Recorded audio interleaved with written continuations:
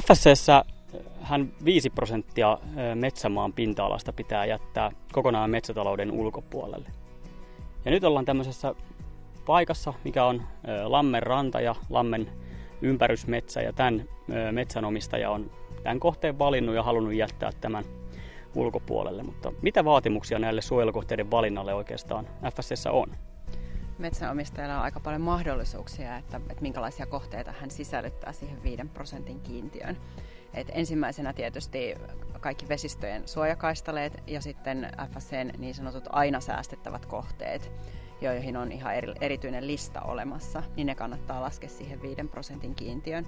Mutta jos ne eivät ihan riitä, niin sitten sieltä metsätilalta kannattaa valita sellaisia kohteita, jotka on monimuotoisuudeltaan merkityksellisiä tai, tai vähintään keskimääräistä arvokkaampia ja rajata ne käytön ulkopuolelle.